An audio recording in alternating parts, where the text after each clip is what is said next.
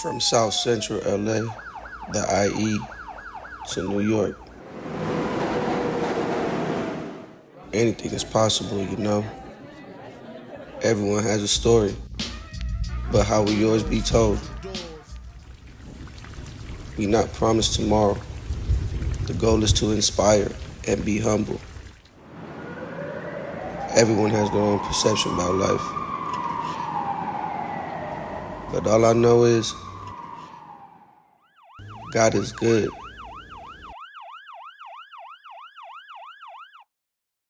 I'm thankful